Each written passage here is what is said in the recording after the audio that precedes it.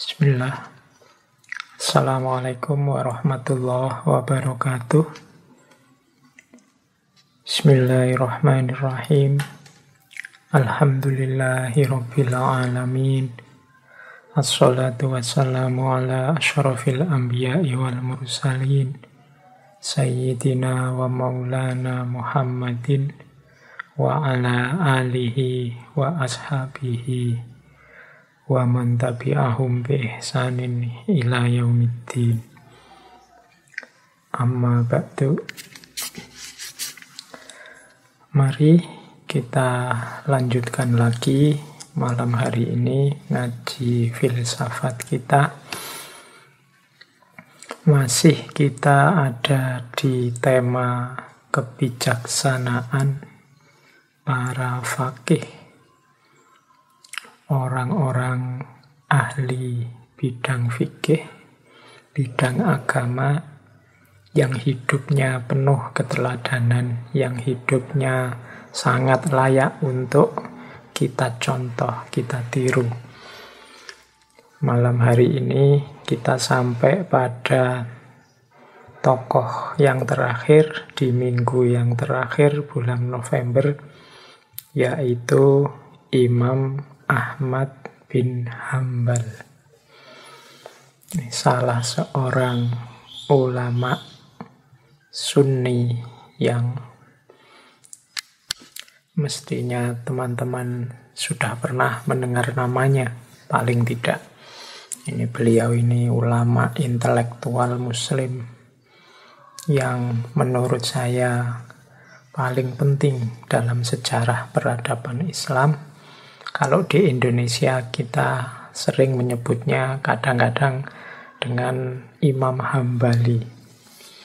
Ya memang nama beliau Ahmad bin Hambal atau lengkapnya Ahmad bin Muhammad bin Hambal. Biasanya di depannya diberi Abu Abdullah karena punya putra yang bernama Abdullah. Nanti di belakang biasanya ditambahi Asyaibani karena beliau ini berasal dari suku Syaiban. Baik, kita mulai teman-teman ngaji kita malam hari ini. Bismillah, nawaitunya ditata. Arinal hakko hakko warzukna tiba'ah wa arinal batila batila warzukna jtinabah. Nawa itu mencari ilmu kepada Allah. Semoga Allah menampakkan yang benar sebagai benar dan kita diberi kekuatan untuk mengikutinya. Yang batil sebagai batil dan kita diberi kekuatan untuk menghindarinya. Oke, karena kuncinya apa-apa itu kan niat di depan. Baik, kita mulai berkenalan dengan Imam Ahmad. Tadi saya sebut nama lengkap beliau Ahmad bin Muhammad bin Hambal dari suku Syaibani disebut kadang-kadang dengan nama putra beliau Abdullah sehingga di depan diberi Abu Abdullah. Beliau lahir kalau tahun Hijriyah ya tahun 164 Hijriah. Kalau tahun Masehi ini ada yang menyebut tahun 780 Masehi. Beliau lahir bulan November sama seperti bulan kita hari ini. Dan nanti beliau meninggal sekitar tahun 855 Masehi. Berarti usia beliau sekitar 75 tahun. Ada juga yang bilang usia beliau itu 77 tahun. Baik, uh, beliau ini yatim sejak kecil. Ini seperti kemarin ya, Imam Syafi'i. Jadi beliau hidup hanya bersama ibunya. Lahir di Baghdad, ada pula yang menyebut sebenarnya bukan Baghdad kelahiran beliau, tapi daerah kalau sekarang ya Turkmenistan. Hanya saja ibunya pindah ke Baghdad saat mengandung Imam Ahmad bin Hambal. Ya karena anak yatim, ya masa kecilnya pastinya tidak sebahagia, semewah anak-anak yang lain, termasuk mungkin tidak seperti kita. Tapi beliau ini dikenal pendiam, pinter, cerdas sejak kecil, dan dikenal juga sejak kecil sudah warok. Warok itu menjaga diri takut berbuat dosa. Ini ciri beliau sejak kecil. Bahkan nanti sampai beliau jadi ulama besar pun dikenal gaya hidupnya sangat sederhana. Satu-satunya yang paling menonjol dari beliau memang semangatnya untuk ilmu. Kalau dari sisi ekonomi, beliau ini nanti banyak didukung ekonominya dengan cara beliau menyewakan alat untuk menyulam. Jadi sewa menyewa alat sulam. Itu untuk ekonomi beliau meskipun beliau juga mungkin kalau mau bisa dekat dengan penguasa mendapat kedudukan dan jabatan yang tinggi. Tapi beliau lebih memilih hidup yang suhud, hidup yang sederhana. Kalau dari sisi ilmu tidak usah ditanyakan lagi. Beliau pertama-tama nanti belajar pada Syekh Abu Yusuf. Syekh Abu Yusuf ini muridnya Imam Abu Hanifah yang paling menonjol. Dari bidang fikih. Tapi nanti fokus beliau sebenarnya yang paling utama adalah bidang hadis ada cerita bahwa beliau ini punya 400 lebih guru untuk bidang hadis saja. Jadi bisa dibayangkan kedalaman ilmu beliau ya kalau untuk satu bidang saja gurunya 400-an. Kita kuliah dari S1 sampai S3 ya kalau dihitung paling guru kita, dosen kita ya puluhan.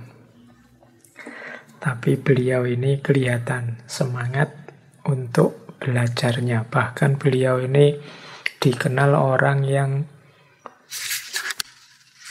sangat cinta, sangat menghargai gurunya, siapa pun itu. Ada cerita dari putra beliau, Abdullah, bahwa Imam Ahmad ini kalau berdoa, selain mendoakan orang tuanya, di belakang doa itu selalu menyebut nama-nama guru beliau satu-satu.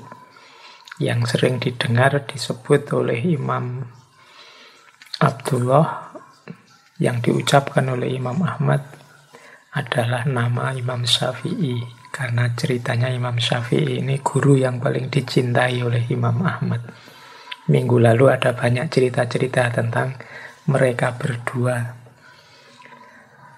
Oke, apalagi informasi tentang beliau.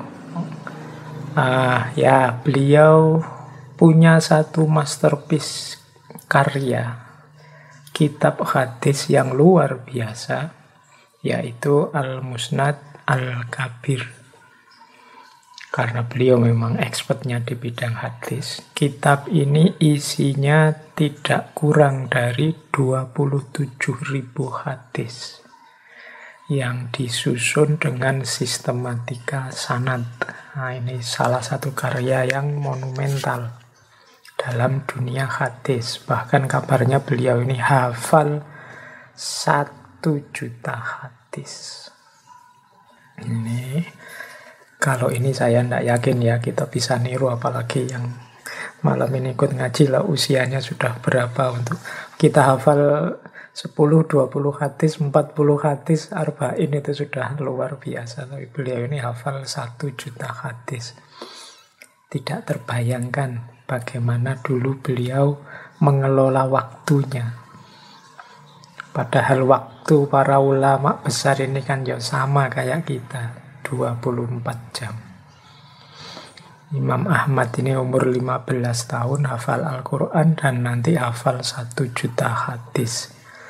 Loh itu kita kita yang tidak hafal itu mungkin bayangkannya ini mesti setiap hari mulutnya hafalan terus.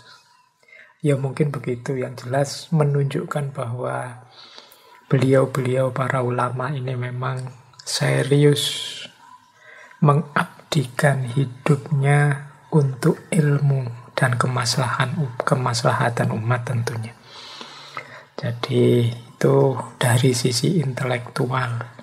Kalau dari sisi fikih ya nanti beliau akhirnya diikuti banyak orang dengan satu madhab khusus fikih yang kita kenal sebagai madhab hambali. Nah, ini beliau ini guru-gurunya dari semua madhab sebelumnya. Tadi kan ada Abu Yusuf dari Imam Abu Hanifah dari madhab Hanafi. Kemudian secara langsung juga belajar dari Imam Syafi'i. Nanti beberapa gurunya juga alirannya Maliki. Dan Imam Ahmad ini meng melakukan improvisasi mengembangkan madhab-madhab sebelumnya yang nanti lahirlah namanya madhab Hambali. Meskipun gurunya Imam Syafi'i, beliau punya gaya sendiri yang sedikit berbeda dengan Imam Syafi'i, khususnya pada penekanan aspek hadis. Tidak kesusu menggunakan akal. Ada cerita juga beliau ini sangat ahli di bidang bahasa dan sastra. Di bidang Al-Quran juga begitu. Beliau dikenal ahli dalam bidang nasih wal mansuh. Beliau juga mengembangkan gaya kiroat yang berbeda. Ini mahasiswa tafsir silahkan dipelajari. Imam Ahmad ini dikenal kalau gaya kiroatnya beliau tidak suka kalau berlebih-lebihan memanjang-manjangkan bacaan Hamzah. Silahkan diteliti yang mahasiswa tafsir, yang tentang fikih ya monggo mahasiswa syariah, mahasiswa fikih, mahasiswa hukum bisa menggali pemahaman beliau ini. Ya malam hari ini kita mengkaji beliau dari sisi hikmah, dari sisi kebijaksanaan-kebijaksanaan hidup. Sesuai tema kita kan memang temanya ngaji filsafat bidang yang berbeda monggo digali lebih intensif oleh para ahlinya masing-masing. Nah, hanya saja tentang Imam Ahmad ini di babak-babak akhir kehidupan beliau mengalami beberapa ujian yang menyakitkan. Jadi beliau ini dengan pemahaman beliau nanti berbeda pandangan dengan dinasti dengan kekhalifahan saat itu. Yang saat itu khalifahnya adalah Al-Ma'mun. Nah, khalifah Al-Ma'mun ini madhab resminya Mu'tazilah. Dan nanti bertentangan dengan beberapa pandangannya Imam Ahmad. Nanti Al-Ma'mun ini melakukan namanya mihnah. Mihnah itu uji keimanan uji kepercayaan. Jadi para ulama yang pandangan-pandangannya berlawanan dengan pandangannya negara yang resmi akan dihukum, dieksekusi. Nah, Imam Ahmad termasuk dari para ulama yang beberapa pandangannya berbeda. Khususnya yang paling terkenal sekali pandangan beliau tentang Al-Quran. Kalau menurut Al-Ma'mun dan dinastinya saat itu, Al-Quran itu makhluk. Tapi Imam Ahmad bin Hambal tidak mau disuruh mengikuti pandangan ini. Bagi beliau, Al-Quran itu ya hakikatnya kalamullah, bukan makhluk. Ini diskusi-diskusi ilmu kalam. Nanti Imam Ahmad juga termasuk salah satu pionir dalam tokoh besar dalam kajian ilmu kalam. Nanti dari beliau lah nanti lahir satu pandangan yang secara ilmu kalam dikenal dengan nama salafiyah. Nah, dengan bedanya pandangan ini akhirnya Imam Ahmad dipenjara, disiksa. Dan lama sampai khalifahnya ganti Al-Mutawakkil. Setelah khalifahnya ganti Al-Mutawakkil, ya beliau merasa menyesal telah menyengsarakan, memenjarakan, menyiksa seorang ulama besar. Akhirnya dibebaskan oleh Al-Mutawakkil.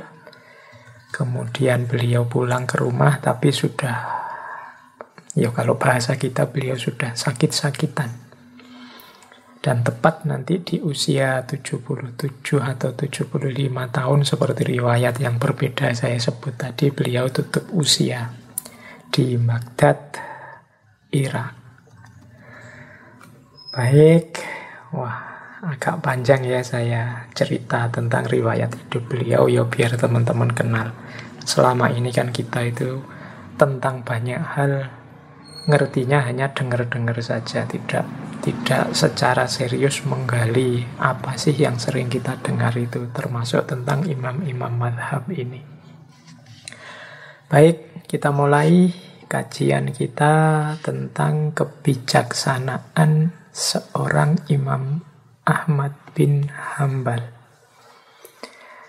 Guru beliau sendiri, Imam Syafi'i, menyatakan kekagumannya terhadap muridnya ini. Kata Imam Syafi'i, Imam Ahmad bin Hambal ini adalah imam dalam delapan bidang sekaligus. Imam dalam delapan hal. Oh ini luar biasa kan. Biasanya ahli itu expert di satu bidang. Tapi beliau ini katanya Imam Syafi'i ahli dalam delapan bidang. Yang pertama imam hadis. Kalau ini tidak diragukan lagi. Yang kedua imam fikih. Terus imam bahasa karena keahlian dalam bahasa Arab. Terus imam Al-Quran. Keahlian beliau dalam bidang tafsir Al-Quran. Imam dalam hal kefakiran ini yang bagian-bagian terakhir ini Imam ranahnya tasawuf. Kefakiran itu berarti beliau orang yang merasa cukup, tidak butuh dunia lagi. Satu-satunya yang beliau butuhkan hanya Allah saja. Makanya istilahnya fakir. Para ulama dulu sering menyebut diri mereka dengan kalimat al-fakir. Ini kalimat tawaduk yang menunjukkan bahwa aku ini tidak punya apa-apa, tidak bisa apa-apa. Yang menolongku, membantuku, yang membuatku seperti ini hanya Allah saja. Nah, kata Imam Syafi'i, Imam Ahmad termasuk seorang yang pelopor dalam bidang kefakiran. Kemudian imam dalam zuhud. Nah, zuhud itu hidup yang tidak tenggelam dalam arus duniawi. Hidup yang tidak berorientasi dan berfokus materi keduniaan. Ini disebut hidup yang suhud. Imam dalam hal warok. Dan yang terakhir imam dalam hal sunnah. Imam dalam hal warok itu imam dalam hal kemampuan menjaga diri dari dosa. Tadi saya ceritakan ya beliau ini warok sejak kecil, pendiam, suka menyendiri. Makanya tidak banyak terpengaruh oleh lingkungan sekelilingnya. Ya kalau anak-anak hari ini sih menyendiri tapi men menyendirinya sambil pegang gadgetnya masing-masing. Tidak terpengaruh oleh lingkungan sekeliling tapi sangat terpengaruh oleh dunia maya yang namanya medsos. Dan yang terakhir, imam dalam hal sunnah. Imam dalam hal sunnah ini sudah tidak diragukan lagi. beliau ini, kecintaannya terhadap sunnah. Jadi dari pengakuan gurunya ini saja sebenarnya kita tidak perlu panjang lebar menggali, membuktikan kealiman beliau. Nah, terus kita lanjutkan. Imam Ahmad ini dikenal sangat cinta dengan hadis, memberi porsi besar terhadap sunnah, termasuk nanti dalam hukum, dalam fikih. Ini saya beri informasi sedikit meskipun kita ngajinya tidak fikih ya. Yang saya jelaskan tadi tergambar misalnya ketika beliau menetapkan sumber hukum dalam fikih. Ya yang pertama sama, semua imam madhab itu referensi primernya Al-Quran dan hadis. Nah, sisanya yang berbeda-beda. Kalau Imam Ahmad setelah Al-Quran dan hadis ada fatwa sahabat yang tidak kontroversi, tidak berbeda pendapat. Kemudian hadis mursal atau hadis do'if. Asal tidak maudhu, kalau menurut Imam Ahmad, boleh dipakai untuk fadoilul a'mal. Jadi tidak sebagai keputusan hukum. Ini menunjukkan bahwa beliau memberi porsi lebih besar kepada hadis. Tidak kesusu melakukan kias dengan akal pikiran kita.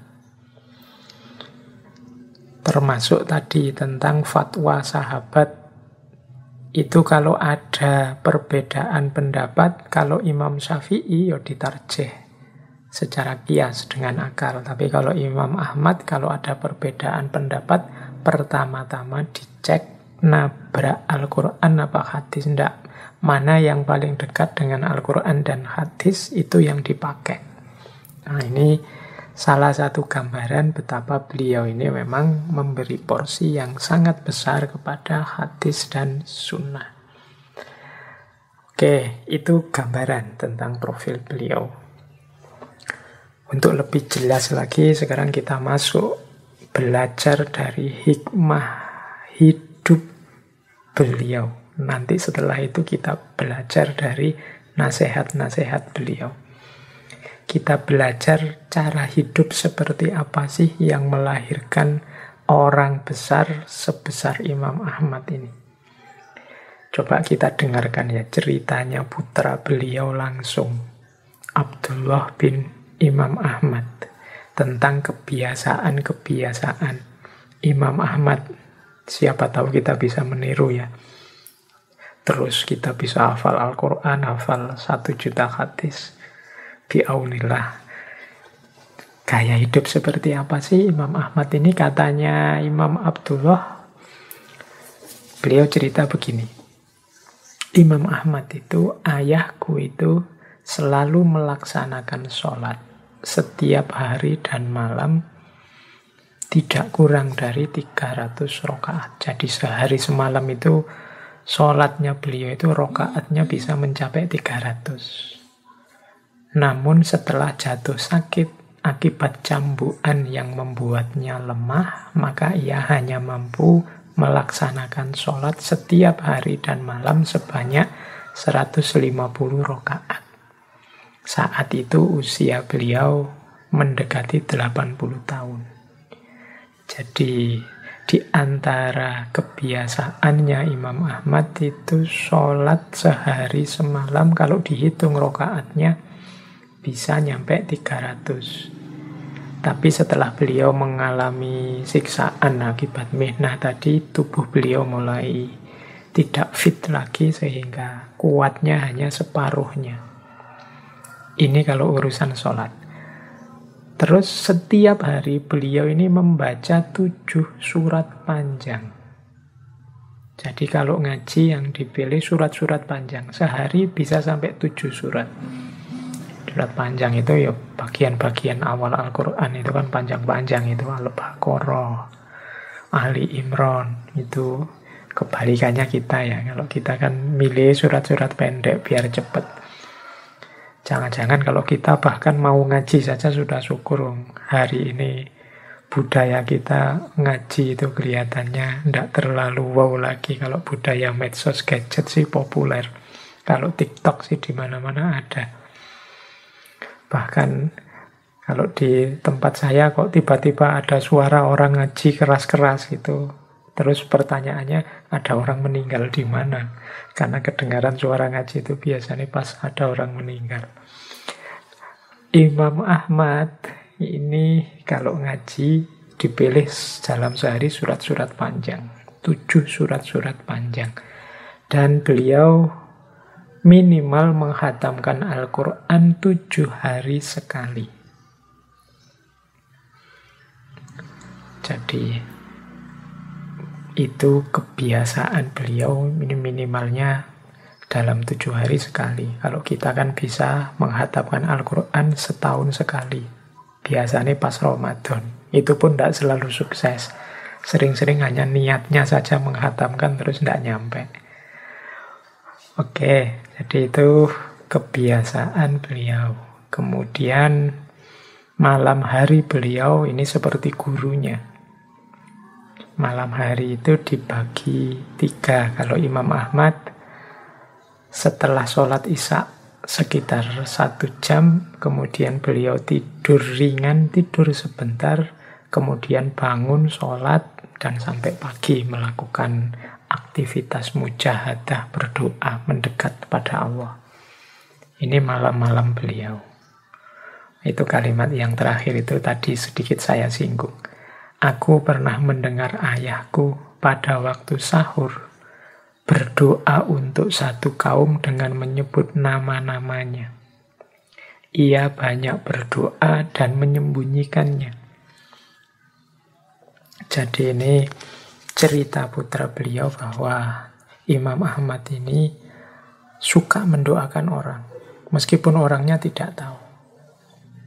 Jadi kebalikannya kita ya kalau hari ini kita banyak sekali pamer akan mendoakan orang. Ada temannya pergi, ya saya doakan semoga selamat di jalan. Ada temannya melakukan apa, ya saya doakan. Tapi kalimat yang kita ucapkan ini sering kali basa-basi.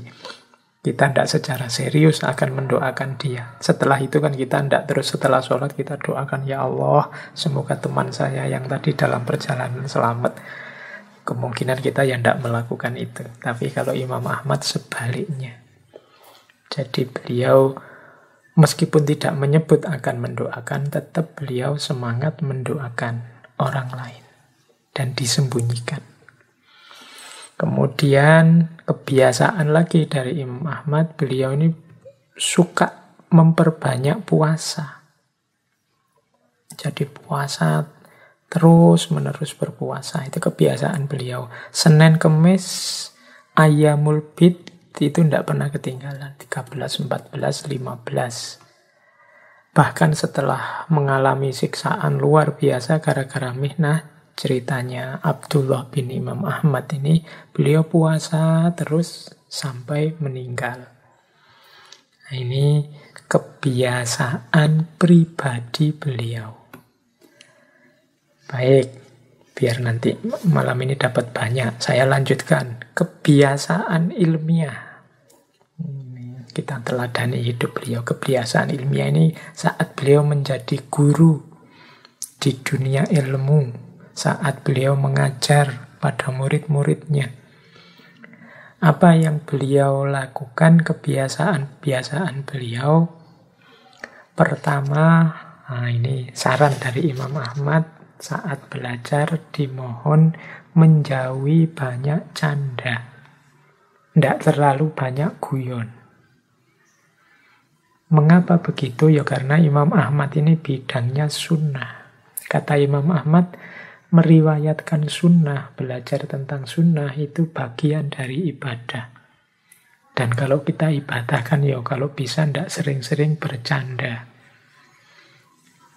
ya sedikit-sedikit mungkin menghilangkan kejenuhan sebentar ndak apa-apa bercanda tapi kalau terlalu banyak candanya nanti aura ilmunya hilang cahaya keilmuannya bisa jauh jadi cari ilmu ayo, memperdalam ayo. Mungkin sedikit-sedikit ada guyonnya, ada candanya, tapi jangan fokus ke situ saja. Karena kita ini mencari ilmu, belajar. Ya mungkin kalau bahasa hari ini ya ini belajar bukan stand up. Kalau stand up ya memang isinya full canda, tapi kalau belajar ya enggak. Nah ini nasihat dari Imam Ahmad, biar cahayanya ilmunya ndak hilang. Kan ada beberapa riwayat itu yang menyatakan orang yang banyak tertawa bisa keras hatinya. Jadi tertawa boleh, sebentar bersenda gurau boleh, biar tidak keras hatinya. Terlalu banyak bertawa juga mengeraskan hati. Jadi yang biasa saja, normal saja. Nah, yang pertama itu, jadi kebiasaannya Imam Ahmad. Jadi kalau teman-teman belajar nyantri ke Imam Ahmad, yo jangan menunggu beliau akan banyak bercanda. Nanti kalian mengeluh, iki wah iki serius tenan, ini ndak ada dagelannya sama sekalian. Karena bagi beliau ini ibadah. Kurang sopan kalau ibadah banyak bercandanya. Ini Imam Ahmad. Terus Beliau punya kebiasaan hanya menyampaikan hadis kalau ada orang bertanya. Kalau tidak ada yang bertanya, ya beliau diam, tidak menyampaikan apa pun. Nah, ini kebiasaan ilmiah. Jadi beliau tidak mengobrol hadis, tidak mengobrol ilmu, apalagi pamer.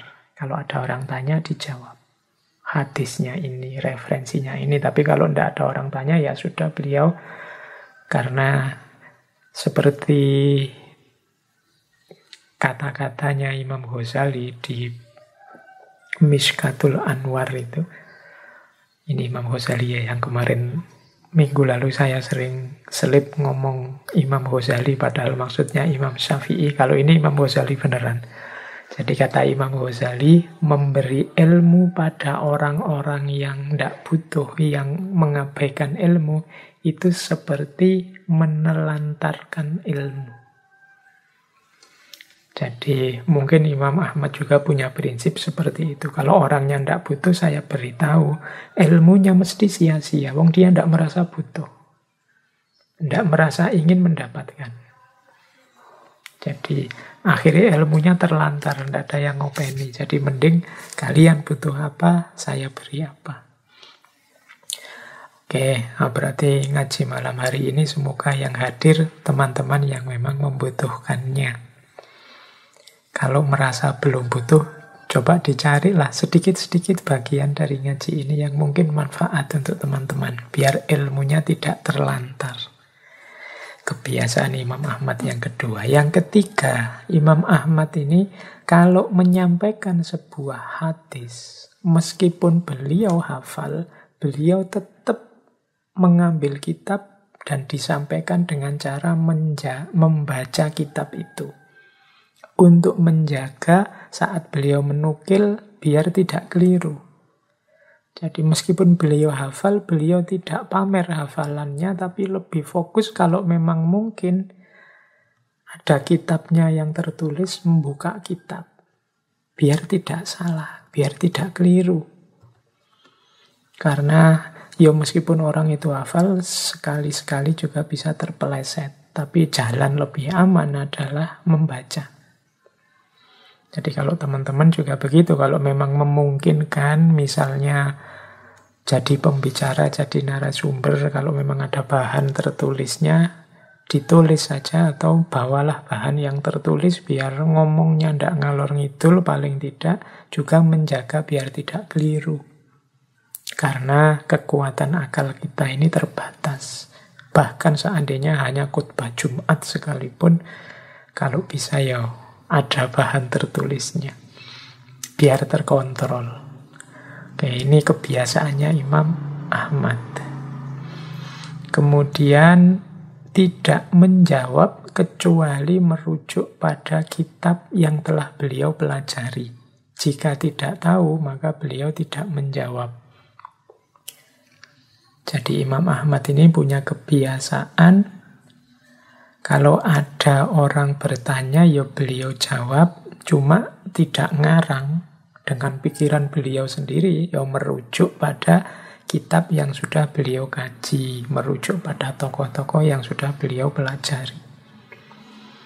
Nah ini cirinya Imam Ahmad. Jadi kalau bicara selalu punya rujukan, tidak ngarang. Kalau ndak tahu, ya ndak jawab. Mungkin seperti Imam Malik dulu lah, adri aku ndak tahu. Ya nanti cari referensi dulu, baca-baca dulu. Jadi tidak menjawab kecuali merujuk kitab yang beliau pelajari. Nah yang terakhir di antara kebiasaan ilmiah beliau, beliau ini tidak membolehkan murid-muridnya menulis kecuali hanya hadisnya Rasulullah. Fatwa-fatwa fikih beliau tidak boleh ditulis oleh beliau. Jadi mungkin pandangan-pandangan fikih beliau itu beliau menganggapnya ini pandangan pribadi yang orang boleh setuju, boleh tidak.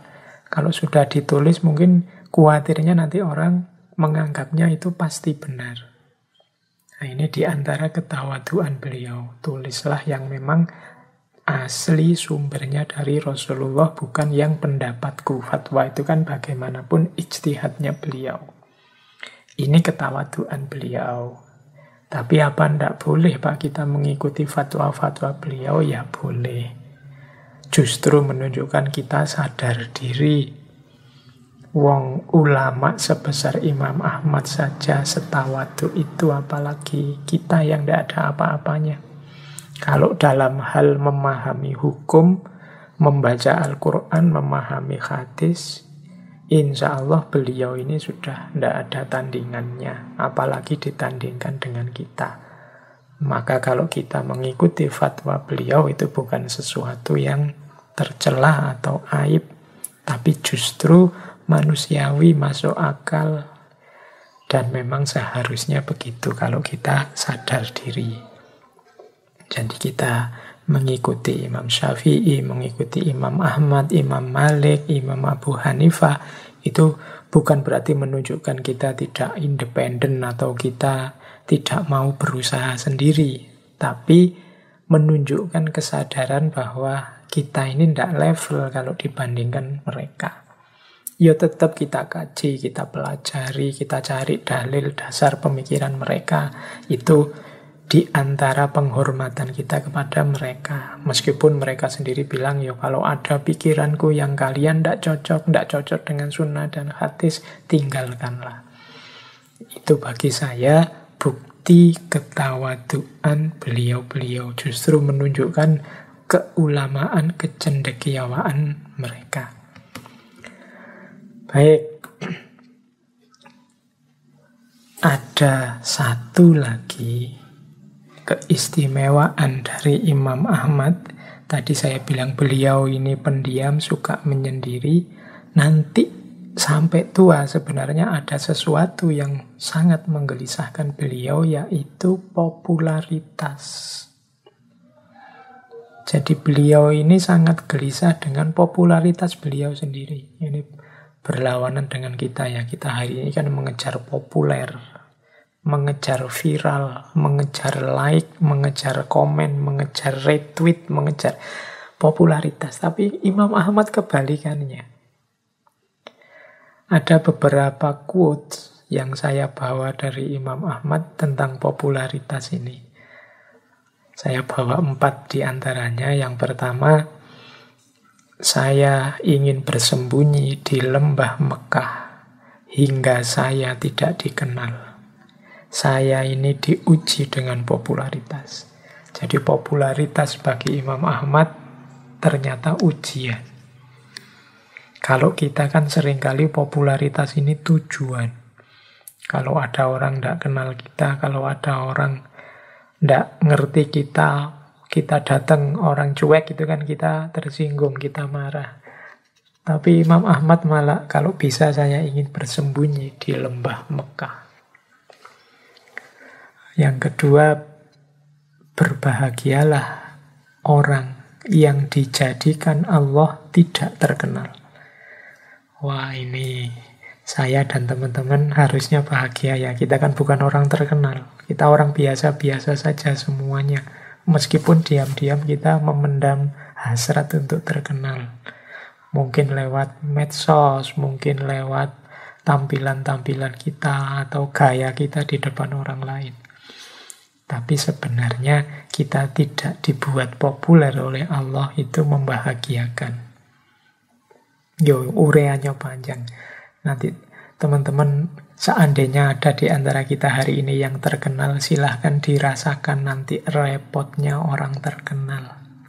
Sumpetnya orang terkenal. Saya membayangkan artis-artis yang sangat terkenal itu betapa susahnya hidup tiap hari jadi pusat perhatiannya orang. Kadang-kadang mau marah ndak bisa karena nanti ada yang memberitakan. Mau jengkel ndak boleh, mau melakukan apa ndak bisa karena nanti diberitakan. Oh, repot.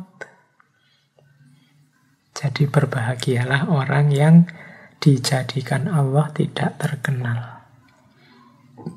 Andaikan aku menemukan jalan, aku pasti keluar sehingga aku tidak memiliki popularitas. Ini prinsipnya Imam Ahmad. Sayangnya beliau ini memang ulama besar dibutuhkan oleh umat. Beliau jadi kiblat dan rujukannya umat. Mau tidak mau, beliau jadi sasaran tujuan tempat bertanya, fokus keilmuannya umat. Yang ini hakikatnya menggelisahkan beliau. Jika seseorang benar-benar menyadari nilai dirinya, Lalu apa untungnya ia mengharapkan pujian dari manusia? Kalimat dari Imam Ahmad ini sebenarnya memperjelas mengapa sih popularitas itu tidak penting. Popularitas itu kan sejenis pengakuan orang. Dalam bentuk yang dalam biasanya munculnya pujian-pujian orang, kekaguman orang pada kita, sehingga kita terus jadi pusat perhatian. Ini kalau tidak hati-hati bisa membuat kita tergelincir, membuat kita sombong, membuat kita angkuh. Kata Imam Ahmad, lu kalau orang itu sudah ngerti bahwa dia benar, bahwa dia baik, yang dia lakukan sudah lurus semua, tidak ada pentingnya lagi pengakuan orang, pujian orang. Kadang-kadang orang menunggu pengakuan, menunggu pujian orang itu karena dia belum yakin apa yang saya lakukan ini baik enggak sih, benar enggak sih. Itu kan kita nunggu komennya orang, kita menunggu pujiannya orang. Kata Imam Ahmad berarti ya kita belum benar-benar sadar, belum benar-benar tahu kalau yang kita lakukan itu baik atau benar. Kalau sudah yakin benar, yakin baik, ya kita tidak akan menunggu apakah orang suka atau tidak, memuji atau tidak. Urusannya mereka. Saya yakin yang saya lakukan baik dan benar. Kita kan misalnya foto karena ingin dianggap ganteng, terus kita share, nunggu orang melike semua. Begitu banyak yang bilang, wah ganteng nih, wah tambah cakep aja, wah tambah mulus saja, wah kita terus muncul rasa berarti aku memang ganteng. Itu berarti semula kita tidak yakin kita ganteng, nunggu komen orang. Atau jangan-jangan kita ingin menipu diri saja. Oke, baik. Ini tentang popularitas. Menurut Imam Ahmad. Jadi beliau ini sebesar itu, sealim itu, sesoleh itu sebenarnya beliau tidak ingin dikenali, tidak ingin populer. Kalau bisa beliau ingin sembunyi saja di lembah Mekah. Bahkan ini salah satu kalimat yang kita temukan di semua imam madhab yang kemarin kita bahas, ada kalimat semacam ini. Ini menunjukkan tawaduknya beliau. Jangan engkau ikuti aku. Jangan pula mengikuti Malik, Syafi'i, Auza'i, Thauri. Tetapi ambillah dari mana mereka mengambil. Barang siapa yang menolak hadis Rasulullah Shallallahu Alaihi Wasallam, maka sesungguhnya ia telah berada di ambang kehancuran. Jadi ini Imam Ahmad sebagaimana Imam Abu Hanifah dulu, sebagaimana Imam Malik dulu, sebagaimana Imam Syafi'i kemarin menyatakan bahwa aku ini manusia biasa, engkau tidak boleh mengikuti aku. Mencontoh mungkin boleh itu kalau pakai bahasa saya. Tapi jangan mengikuti. Yang kita ikuti hanya Allah dan Rasulullah ya ini ketawaduan beliau seperti saya bilang tadi. Nah harusnya dilanjutkan dengan ketahu dirian kita. Jadi kita ini tidak taklid pada Imam Ahmad, tidak taklid pada Imam Syafi'i, tapi kita mengikuti pandangan Imam Ahmad mengikuti pandangan Imam Syafi'i tentang Al-Quran dan hadis karena kita tahu beliau-beliau ini yang lebih ahli, kapasitasnya jauh lebih mumpuni dibandingkan kita. Jadi mereka tawadu, kita tahu diri. Oke, jadi ini prinsip dari penjelasan beberapa tadi mungkin teman-teman sudah bisa menggambarkan sosok alim dan soleh yang seperti apa Imam Ahmad itu. Baik, kita cari hikmah yang lain dari kehidupan Imam Ahmad. Yang paling terkenal, seperti saya bilang tadi, dari Imam Ahmad adalah kesungguhan beliau dalam ilmu. Banyak sekali cerita-cerita tentang bagaimana seriusnya beliau mencari ilmu. Ada satu cerita, satu ketika Imam Ahmad ini yang sudah tua, yang usianya sudah 70-an, terlihat sedang berjalan membawa buku, membawa tinta, membuntuti seorang syekh. Terus disapa oleh seseorang, "Wahai Abu Abdillah, sampai kapan engkau melakukan hal seperti ini? Padahal engkau sudah menjadi imamnya kaum muslimin." Beliau berkata, "Bersama tempat tinta sampai kuburan." Nah, ini kalimatnya bisa teman-teman jadikan jargonnya untuk semangat belajar bersama wadahnya tinta sampai kuburan. Berarti semangat belajar yang tidak putus. Kalau bahasanya hadis, minal mahdi ilal lahdi. Dari buayan sampai liang lahat.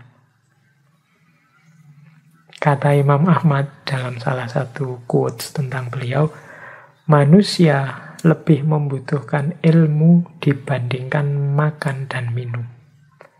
Karena dalam sehari seseorang hanya membutuhkan makan minum satu atau dua kali saja, sementara ia membutuhkan ilmu dalam setiap helaan nafasnya. Oh, ini quotes ini bagus, tapi jangan-jangan kebalikannya kita ya kita setiap detiknya yang dipikir makanan, kalau untuk ilmu sehari satu dua kali saja. Tapi kalau Imam Ahmad, makan itu kan satu dua kali saja sehari cukup. Tapi kalau ilmu setiap helaan nafas. Imam Ahmad ini mengembara ke mana-mana mencari ilmu. Dari Baghdad ke Basro, dari Basro ke Kufah, dari Kufah ke Hijaz, dari Hijaz ke Yaman, semua ulama beliau kunjungi bertahun-tahun. Di Hijaz ada cerita beliau ini sampai lima tahun. Mengejar hadis-hadis. Beliau tidak mencukupkan diri hanya dari kitab atau buku, tapi beliau ingin ketemu langsung dengan ulamanya. Ada cerita suatu ketika beliau ini bertemu seorang gurunya. Abdur Razak bin Humam. Ini nanti beliau dijadikan guru oleh Imam Ahmad. Ketemu di Mekah. Mestinya Imam Ahmad ini waktu ketemu bisalah mengkonfirmasi hadis-hadis yang ingin beliau konfirmasi, beliau ambil. Tapi tidak, waktu ketemu di Mekah ya beliau menghormati sebagaimana guru dengan murid. Tapi beliau tidak ingin merepotkan gurunya ini dengan pelajaran-pelajaran hadis. Nanti setelah Imam Abdul Razak bin Humam ini pulang ke tempat beliau namanya Son'ah, baru Imam Ahmad nyusul capek-capek ke Son'ah untuk mengambil hadis dari Syekh Abdul Razak bin Humam. Nah ini menurut saya menunjukkan kesolehan sekaligus keseriusan beliau dalam ilmu.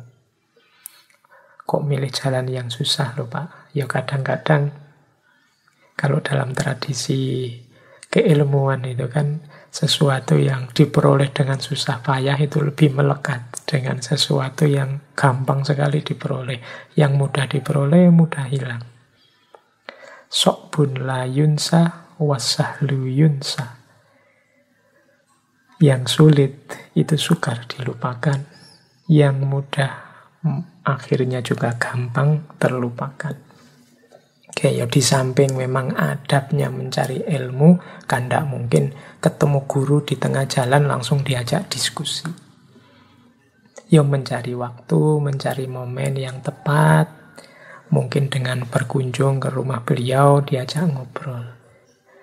Baik, itu di antara adabnya Imam Ahmad dan keseriusan beliau dalam mencari ilmu. Ada lagi cerita yang menurut saya cerita ini menyentuh tentang adab mencari ilmunya dan adab memberikan ilmu. Kalau tadi kan adab mencari ilmu, ini ada cerita adab beliau dalam memberikan ilmu kepada murid-muridnya ada cerita yang disampaikan oleh seorang murid beliau yang namanya Harun bin Abdullah al-Baghdadi. Jadi suatu ketika kata Harun bin Abdullah, saat larut malam pintuku diketuk oleh orang. Ini sudah sepi malam hari, dini hari pintunya diketuk Terus aku bertanya, siapa? Ada suara lirih dari luar pelan sekali menjawab, Ahmad. Aku menyelidik lagi, Ahmad yang mana? Nama Ahmad kan mestinya ya banyak, nama Ahmad, nama Muhammad. Jadi beliau ini tanya, ini Ahmad yang mana? Nyaris berbisik ku dengar suara Ibnu Hambal. Ada suara pelan, Ahmad. Ahmad siapa? Bin Hambal. Kaget. Syekh Harun ini, subhanallah, itu guruku.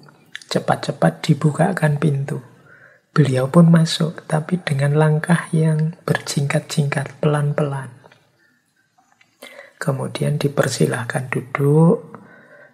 Beliau juga duduknya pelan-pelan, hati-hati agar kursinya tidak bunyi. Baru kemudian Syekh Harun tanya, Wahai guru, ada urusan penting apa? Sehingga mengunjungiku selarut malam ini. Mengunjungiku di dini hari malam ini. Beliau tersenyum. Kemudian berkata, Maafkan aku, wahai Harun. Kata beliau lembut dan pelan. Aku terkenang bahwa engkau masih terjaga kalau malam seperti ini untuk meneliti hadis di waktu semacam ini. Ku berikan, ku beranikan diri untuk datang karena ada yang mengganjal di hatiku sejak siang tadi. Jadi Imam Ahmad ini bilang, yo, aku ngerti kebiasaanmu kalau jam-jam segini engkau masih sibuk belajar. Makanya aku datang pelan-pelan karena ada yang mengganjal yang ingin aku sampaikan. Syekh Harun kaget. Apakah yang ingin disampaikan itu tentang saya, guru? Sampaikanlah, jangan ragu-ragu. Akan aku dengarkan. Nah, barulah Imam Ahmad menyampaikan nasihatnya. Maaf wahai Harun, tadi siang aku lihat engkau sedang mengajar murid-muridmu engkau membaca hadis untuk mereka catat. Aku lihat saat itu mereka murid-muridmu ini ada yang tersengat oleh teriknya matahari. Sedangkan engkau teduh dinaungi oleh bayangan pepohonan. Lain kali jangan begitu, wahai Harun. Duduklah dalam keadaan yang sama sebagaimana muridmu duduk. Jadi Imam Ahmad ini mengingatkan, tadi siang aku melihat saat engkau mengajar, engkau mencari tempat yang teduh, dinaungi pepohonan, sementara banyak muridmu yang tersengat oleh matahari. Lain kali jangan begitu. Kalau memang murid-muridmu kepanasan, ya engkau harus bergabung bersama mereka. Nah, setelah itu Imam Ahmad terus pamit, pelan-pelan lagi pamitnya. Berjingkat-jingkat menutup pintu juga pelan-pelan. Nah ini Syekh Harun ini betapa takjub. Beliau menangis melihat adab gurunya akhlaknya yang sangat indah. Kata Syekh Harun, beliau bisa saja menegurku di depan para murid. Toh, murid-murid juga tahu beliau guruku dan berhak untuk itu. Tetapi tidak dilakukannya untuk menjaga wibawaku. Beliau bisa saja datang sore hari setelah maghrib, setelah isya, kan lebih mudah. Tapi itu tidak dilakukannya demi menjaga rahasia. Dari nasihat-nasihatnya, beliau sangat hafal kebiasaanku yang masih terjaga di larut malam. Beliau datang mengendap-endap pelan-pelan, bicara lembut, berbisik. Semua dilakukan agar keluargaku tidak tahu. Agar aku yang adalah seorang ayah dan suami tetap terjaga kehormatannya sebagai imam dan teladan di tengah keluarga. Jadi ini contoh adabnya seorang guru kepada murid. Jadi ingin mengingatkan, menasehati saja dengan cara yang paling tersembunyi, paling halus, paling tidak menyinggung perasaan. Nah, ini di antara contoh mungkin yang bisa kita teladani dari seorang Imam Ahmad. Jadi ya monggo ya kita serap sendiri cerita tadi. Kita sinkronkan dengan kelakuan kita sendiri hari ini. Semoga tidak kita pakai untuk noding orang yang tidak seperti ini. Kita jadikan bahan introspeksi saja, bukan bahan untuk menyalahkan atau menjatuhkan orang lain. Ya meskipun saya tahu hari ini banyak orang saling menasehatinya dengan cara membongkar aib secara terbuka lewat medsos-medsos. Semoga kita tidak tergolong yang seperti itu. Kalau memang kita merasa bertanggung jawab meluruskan, menasehati, coba kita ambil jalan yang lembut. Jalan yang sebagaimana ditempuh oleh Imam Ahmad tadi. Baik, terus. Nah, itu cerita tentang kepribadian Imam Ahmad bin Hambal. Ada satu cerita lagi, mungkin ini agak berbeda dengan yang tadi. Mungkin bisa juga kita ambil hikmahnya. Kalau ini hikmah yang tidak secara langsung berhubungan dengan Imam Ahmad, tapi Imam Ahmad menjadi saksinya. Jadi satu ketika, ini cerita dari Imam Ahmad bin Hambal sendiri ini. Berarti kita anggap saja ini pelajaran dari Imam Ahmad. Jadi Imam Ahmad bercerita begini. Satu hari saya tidak tahu mengapa kok ingin sekali pergi ke Basroh, Irak. Jadi mungkin semacam ilham dari Allah untuk berangkat ke Basro. Pokoknya dia tiba-tiba ingin sekali ke Basro. Ya sudah, beliau berangkat ke sana. sebagaimana kebiasaannya Imam Ahmad yang tidak ingin terkenal dan dikenal, ya beliau berangkat ke Basroh dengan modelnya sendiri, mungkin dengan baju yang sangat sederhana, tidak memamer-mamerkan gaya dan kebiasaannya biar tidak dianggap orang besar, orang soleh. Sampai di Basroh, Isya. Beliau ikut sholat di satu masjid. Setelah sholat, karena merasa capek, beliau berniat, wah ini enaknya saya istirahat di masjid ini saja ya. Terus beliau berbaring di masjid itu. Tiba-tiba didatangi oleh pengurus masjid, marbotnya atau takmirnya lah kalau hari ini ya. Melihat Imam Ahmad di situ, disapa. Syekh, mengapa kok berbaring di sini. Imam Ahmad menjawab, saya ingin istirahat. Saya ini musafir.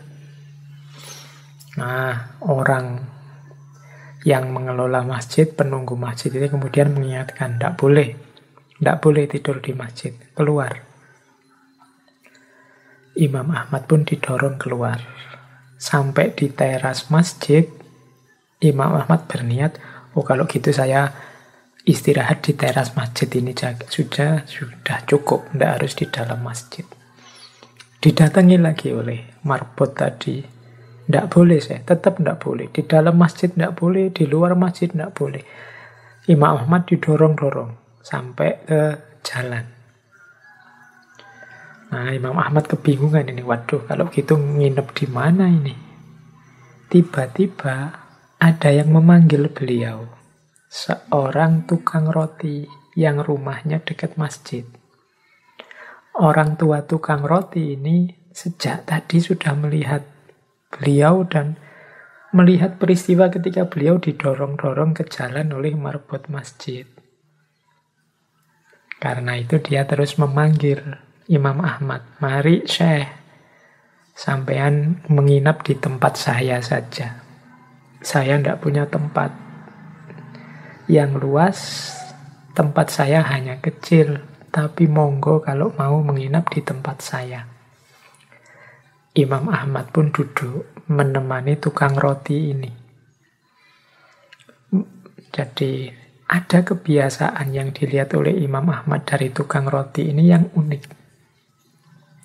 Jadi tukang roti ini sambil mengolah adonan roti,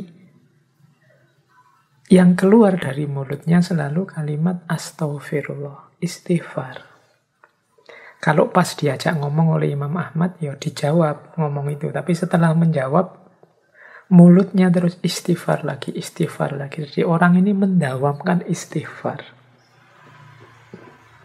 Terus Imam Ahmad bertanya, Syekh, sudah berapa lama sampean melakukan hal seperti ini, mendawamkan istighfar ini?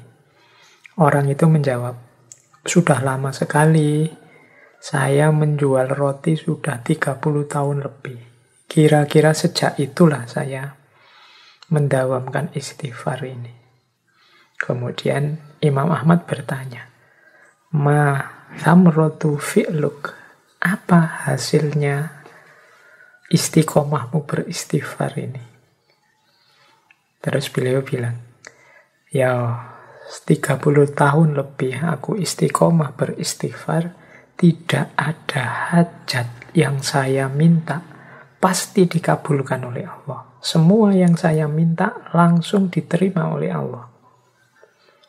Imam Ahmad bertanya, semuanya dikabulkan. Orang itu menjelaskan, semuanya dikabulkan. Kecuali satu. Ya, masih ada satu yang belum dikabulkan oleh Allah. Imam Ahmad penasaran terus bertanya, apa itu kira-kira yang belum dikabulkan oleh Allah?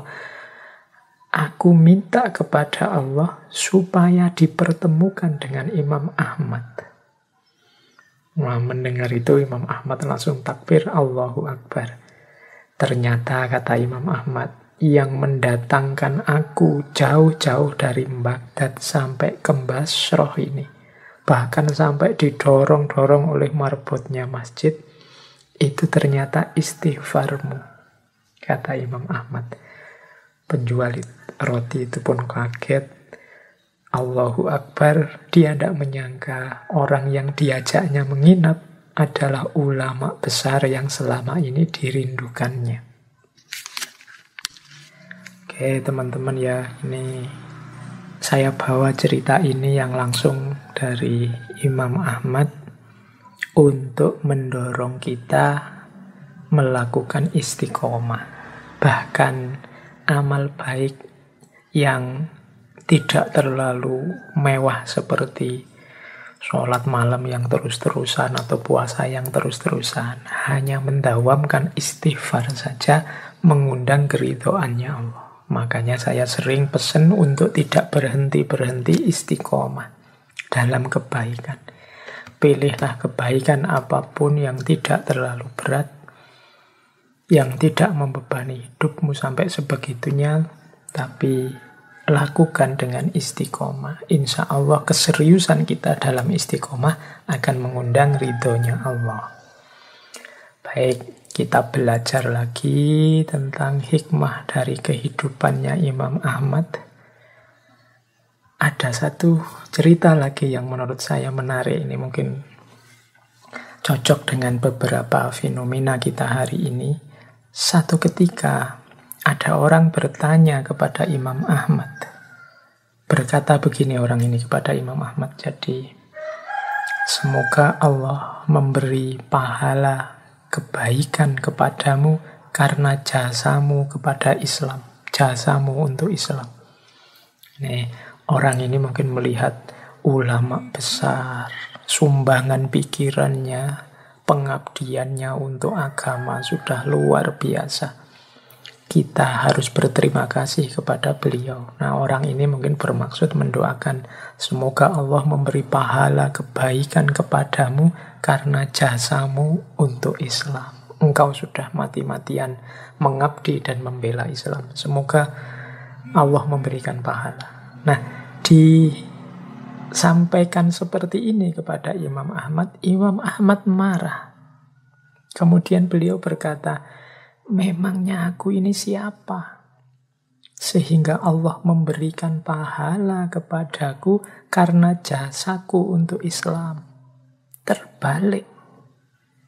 Seharusnya doanya begini. Semoga Allah memberi balasan kebaikan atau kejayaan kepada Islam. Karena jasanya Islam untukku.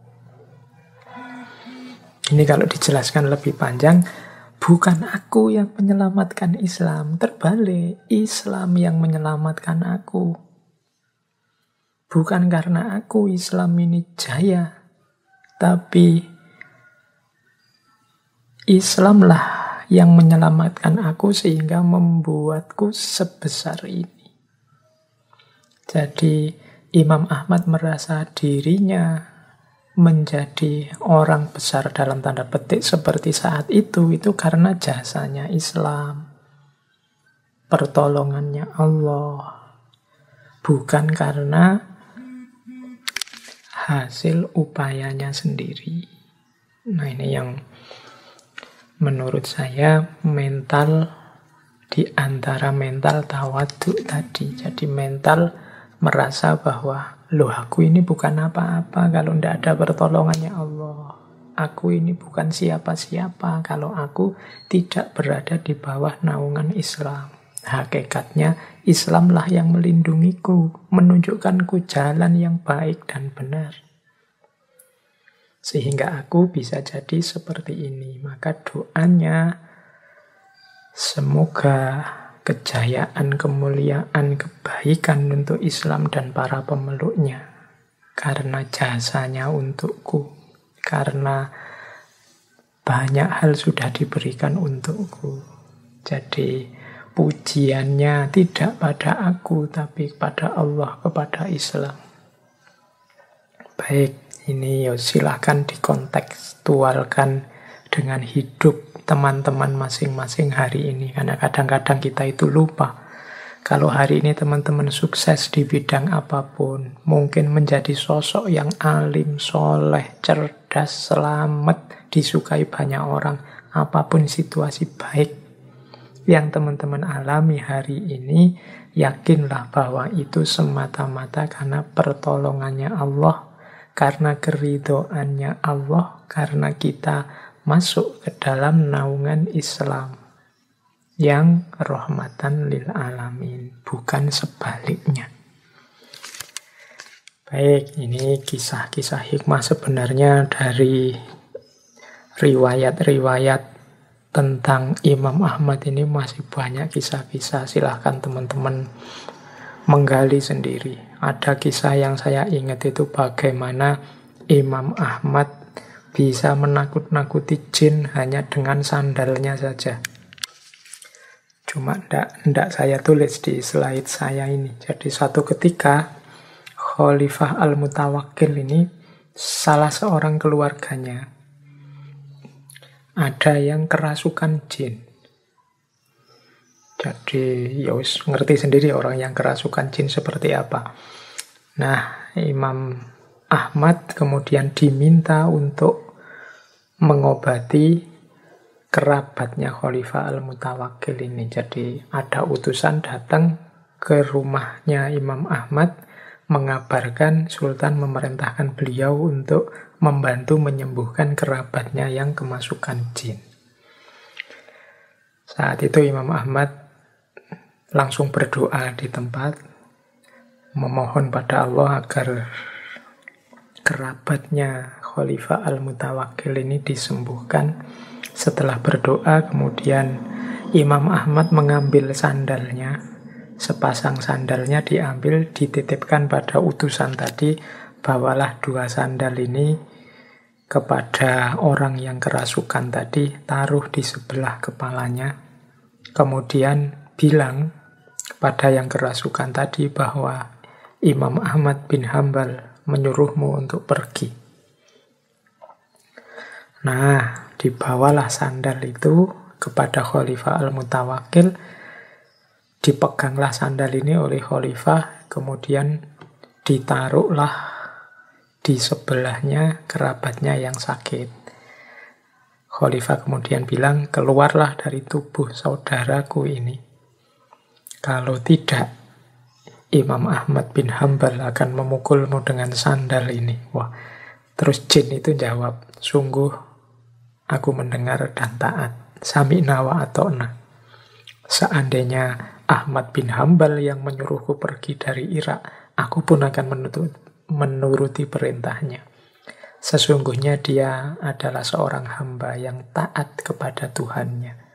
Barang siapa yang taat kepada Allah, maka kami akan takut kepadanya. Akhirnya jin tersebut keluar. Ini cerita ya, di slide tidak saya bawa, tapi bagi saya yang penting kalimat yang terakhir tadi. Barang siapa yang patuh kepada Allah, maka makhluk yang lain akan takut kepadanya. Ini uraiannya panjang, tapi hikmahnya paling tidak itu. Oke, teman-teman, kita belajar lagi beberapa hikmah dari seorang Imam Ahmad bin Hambal. Ada nasihat yang disampaikan oleh Imam Ahmad. Ini semacam cerita. Kata Imam Ahmad begini. Allah mewahyukan kepada Isa alaihi salam.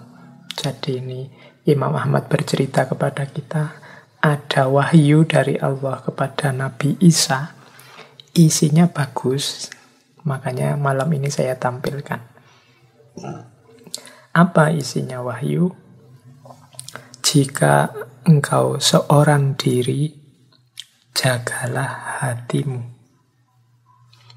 Jika engkau bersama orang, jagalah lisanmu. Jika engkau berada di meja makan, jagalah perutmu. Dan engkau, jika engkau berada di jalan, jagalah matamu. Itu akan memberikanmu keselamatan. Jadi, jalan untuk selamat itu ada empat. Yang pertama, kalau pas kita sendirian, mari kita menjaga hati. Kadang-kadang kalau kita sendiri itu kan merasa bebas, tidak ada yang mengawasi. Terus kita melakukan hal-hal yang negatif dalam tanda petik karena merasa aman. Mungkin entahlah teman-teman ngerti sendiri kadang-kadang kalau kita pas lost sendirian itu kan merasa Allah tidak ada yang lihat saja terus kita melakukan apa pun yang kalau itu kelihatan orang kita malu tapi tidak masalah. Ah ini hati-hati ini termasuk tidak menjaga hati. Kalau kita lost, tidak kontrol lagi pas sendirian, berarti apa? Merusak hati. Kesalahan itu kan seperti teorinya Imam Ghazali kan, setiap kali satu kesalahan kita lakukan, satu ketidakpantasan, ketidakharusan kita jalankan, ada satu titik buram dalam hati kita, sadar apa enggak? Maka hati-hati, meskipun sendirian, ah saya benci sama orang itu, tapi enggak saya tampil-tampilkan. Pas sendirian saja saya bayangkan wajahnya tak tendangi diwakili oleh bantal misalnya. Nah ini titik-titik loss. Hati-hati karena merusak hati. Ya mungkin secara sosial nama kita tidak rusak, tapi hati kita rusak. Karena kekeliruan-kekeliruan, kesalahan-kesalahan yang sengaja kita lakukan dan di ACC oleh hati dan pikiran. Akan memburamkan hati. Jadi latihan menjaga hati meskipun sendirian. Yang kedua, jika bersama orang lain, jagalah lisan. Kalau ini sudah banyak yang menasehati di tema yang sama. Jadi kuncinya keselamatan bersama orang lain pertama-tama lisan kita. Biasanya kalau sudah akrab, sudah nyambung sama seseorang itu lisan kita tidak kontrol lagi. Sering salah ngomong. Baik kalau hari ini ngomong itu kan bisa dalam bentuk tulis lewat postingan-postingan medsos atau dalam bentuk yang lain. Video-video dan macam-macam. Ayo hati-hati. Kalau tidak ada pentingnya, tidak usah ngomong. Kalau tidak ada urgensinya, tidak perlu menyampaikan apa-apa. Coba dihitung seandainya saya tidak posting ini, ada kerusakan apa, ada kehancuran apa, atau tidak ada efeknya apa-apa, sekedar menunjukkan bahwa aku ini pinter, aku ini alim, aku ini tahu banyak wawasan. Mari kita hati-hati. Kecuali memang urgent ini harus saya sampaikan, kalau tidak saya sampaikan orang akan salah memahami, orang akan tersesat, orang akan maka saya sampaikan dan tidak ada niat sedikit pun untuk aku memamerkan kebisaanku, kemampuanku dan aku sadar aku juga tidak selalu benar. Ini juga termasuk menjaga lisan. Yang ketiga termasuk menjaga lisan, jika engkau berada di meja makan, jagalah perutmu. Nah, ini menjaga perut Perut itu sering disimbolkan dengan nafsu. Kalau perut ini kita artikan nafsu, meja makan ini bisa kita artikan dunia. Diartikan letterlek juga boleh, diartikan majasi sebagai nafsu dan dunia juga boleh. Kalau kita di meja makan tidak menjaga perut, biasanya efeknya individual dan sosial dan juga mungkin vertikal, ada religiusnya. Individual apa? Sakit. Kalau makan kita tidak kontrol, sakit. Hari ini penyakit-penyakit berat itu kan banyak yang awalnya karena makan yang tidak kontrol. Secara sosial apa? Kehormatan. Orang yang tidak bisa menjaga perilaku makannya di meja makan itu secara sosial biasanya dianggap tidak sopan, dianggap tidak etis, tidak beradab, tidak berakhlak. Kalau orang Jawa menyebutnya geragas, rakus, tidak pantas untuk dilihat. Jadi secara etik, estetik, bahkan logis, ini keliru. Maka ini maknanya dalam nasihat wahyu dari Allah kepada Nabi Isa ini. Jadi jika engkau berada di meja makan, jagalah perutmu. Yo secara vertikal hubungannya dengan agama, dengan Allah, yo pastinya Allah tidak ridho, tidak berkenan dengan kelakuan yang tidak menjaga diri, termasuk menjaga perut. Makanya Al-Quran itu kalau tentang makan, kalimat terakhirnya walatus rifu, jangan berlebihan. Berlebihan itu merusak semuanya. Dan yang keempat, jika engkau berada di jalan, jagalah matamu. Karena mata ini sumber banyak masalah. Melihat yang tidak harus dilihat, sumber masalah. Mata hanya bisa sampai yang kelihatan saja, yang tidak kelihatan susah kalau hanya pakai mata. Maka mata sering jadi sumber fitnah. Melihat orang berdua laki-laki dan perempuan, terus wah ini mesti melakukan yang dilarang agama. Padahal kita tidak ngerti aslinya. Awalnya dari mana? Hanya melihat mata saja, berawal dari pandangan saja. Jadi kalau engkau di luar, kalau bisa jagalah matamu. Jangan mengobral pandangan. Kuatirnya melihat yang tidak harus dilihat. Kuatirnya salah memahami sehingga muncul fitnah-fitnah. Menjaga mata kalau konteksnya hari ini ya jangan membaca yang tidak seharusnya dibaca. Tidak ada manfaatnya sama sekali kalau dibaca. Lewat medsos, lewat dunia maya, lewat internet. Jadi kemampuan menjaga mata hari ini penting. Ini di antara kemampuan filter kita hari ini terhadap banjir informasi, banjir IT. Oke, empat hal ini menjaga hati, menjaga lisan, menjaga perut, menjaga mata, sumber kita selamat dunia dan akhirat. Nah, yuk mulai latihan ya. Pelan-pelan dari yang fisik dulu, diawali dari mata dulu. Tundukkan pandangan, diawali dari perut, kemudian menjaga makan, menjaga adab.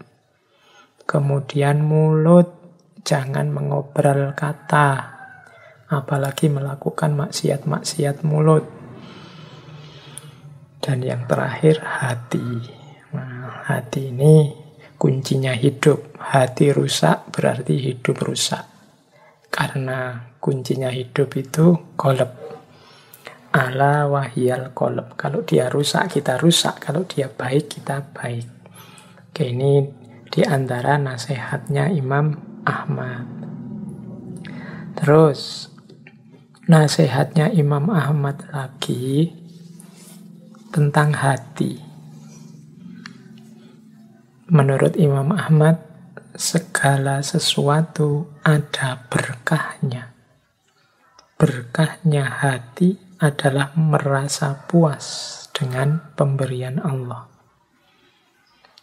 Nah, ini informasi sekaligus tuntunan dari Imam Ahmad. Kalau ingin hati kita berkah, kalau saya sering bilang semoga ilmu kita berkah. Kalau ilmu berkah itu rasanya ilmunya biasa-biasa saja, tidak ada manuver-manuver yang luar biasa, pengetahuan yang sederhana saja, tapi manfaatnya besar untuk hidup. Itu ilmu yang berkah. Kalau rezeki yang berkah, penghasilanku sebenarnya cuma sekecil ini. Tapi semua kebutuhanku bisa terpenuhi bahkan lebih. Nah, ini namanya rezeki yang berkah. Karena Allah mengendalikan keinginan kita tidak macam-macam sehingga yang sedikit itu jatuhnya cukup. Kalau hati, katanya Imam Muhammad, berkahnya apa? Berkahnya adalah kalau kita puas dengan semua pemberian Allah apa adanya. Hati yang berkah itu berarti manusianya ridho, manusianya ikhlas. Manusianya tidak mengeluh, senantiasa bersyukur terhadap apa pun yang diberikan oleh Allah. Berarti hati kita berkah. Nah, semoga teman-teman, ayo introspeksi ya setelah ini. Ada banyak variabel dalam hidup kita, ada banyak momen dalam hidup kita. Masih ada ndak yang kita ndak terima? Masih ada ndak yang kita komplain? Masih ada nggak yang sudah ditetapkan Allah tapi masih ganjel dalam hati kita? Yo kalau bisa kita hindari itu. Mari kita menghidupkan hati secara berkah. Kita merasa puas dengan pemberian Allah. Salah satu tips dari Imam Ahmad untuk membuat hati berkah adalah melembutkan hati. Cara melembutkan hati gimana? Antara lain dengan makan makanan yang halal. Ini kita bisa menerjemahkan, saya juga akan menerjemahkan makanan yang halal itu baik makanan konsumsi fisik maupun makanan konsumsi batin. Lu apa bisa pak konsumsi batin yang halal? Ya banyak. Konsumsi halal secara batin itu kan ya yang mahmudah mahmudah sementara yang haram secara batin yang mazmumah mazmumah jangan masukkan benci jangan masukkan iri jangan masukkan hasud jangan masukkan nifak dalam diri kita. Itu konsumsi yang haram secara batin. Kalau yang halal secara lahir dan secara batin teman-teman mestinya sudah ngerti. Baik haram karena zatnya maupun haram karena sebab dan efeknya. Kan ada beras itu halal, tapi kalau sebabnya mencuri, beras hasil ngutil ya haram. Beras halal, cara memperolehnya baik, berasnya sendiri juga baik. Tapi kalau dipakai untuk melecehkan orang, menghina orang, misalnya kita sodakoh beras pada orang miskin sambil mencaci makinya, ya nilainya jadi efeknya jadi buruk, jadi merusak. Yang haram-haram, baik secara lahir maupun batin, baik dalam zatnya, dalam prosesnya, dalam efeknya, akan membuat hati yang keras. Hati yang keras akan membuat hati tidak berkah Hati yang tidak berkah itu hati yang tidak puas dengan ketetapan dan pemberiannya Allah. Nah, ayo sekarang mulai kita introspeksi. Kalau masih ada hal-hal yang kita komplain dari ketetapannya Allah, yang kita tidak ridho, tidak rela dari ketetapannya Allah, mungkin karena hati kita tidak berkah Mengapa hati kita tidak berkah? Hati kita tidak lembut. Sehingga pemberian Allah selalu mental. Mengapa tidak lembut? Jangan-jangan yang masuk hal-hal yang tidak halal. Baik secara lahir maupun secara batin. Jadi itu cara kita mengelola hati. Kemarin-kemarin saya banyak bilang tentang hati, eh tentang pikiran dan ilmu yang berkah. Sekarang Imam Ahmad mengajari kita hati juga harus berkah. Buktinya apa? Puas dengan pemberian Allah. Baik, kita lanjutkan lagi. Ini ada hubungannya juga dengan rizki. Nah, biasanya orang tidak terima itu dalam hal rizki gajiku kok sedikit ya, orang lain kaya, aku ndak punya apa-apa, dan seterusnya itu urusan rizki. Imam Ahmad memberi beberapa tips agar kita bisa menerima apa pun ketetapan Allah dalam hal rizki. Kata Imam Ahmad, rizki itu kalau sudah jatah kita, rizki itu telah dibagi, tidak akan bertambah dan tidak akan berkurang. Setiap orang sudah punya jatah rizki sendiri-sendiri. Tapi pak, kok ada orang itu yang rasanya kekurangan sementara yang lain kelebihan? Yaitu masing-masing dengan ujiannya sendiri-sendiri. Yang kelebihan, yang merasa lebih mau ndak berbagi, yang merasa kurang mau ndak tetap ridho dan sabar. Kalau jatah sudah pasti. Tinggal kita ridho atau tidak, menerima atau tidak ketetapannya Allah rizki tidak akan bertambah atau berkurang. Yang kemudian dituntut oleh Allah sikap kita terhadap rizki. Kata Imam Ahmad selanjutnya, rizki itu disebut bertambah jika pemiliknya memperoleh kemudahan dari Allah untuk menginfakkannya dalam ketaatan. Kalimat bertambah di sini bisa kita artikan barokah. Jadi rizki itu barokah kalau orang yang punya rizki dianugerahi oleh Allah kesadaran untuk berbagi.